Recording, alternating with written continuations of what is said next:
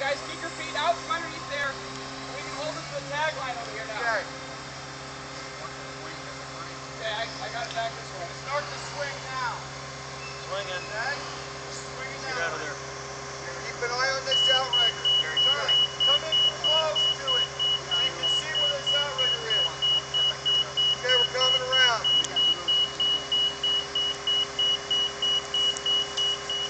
Okay, start the pivot that way. Watch that outrigger.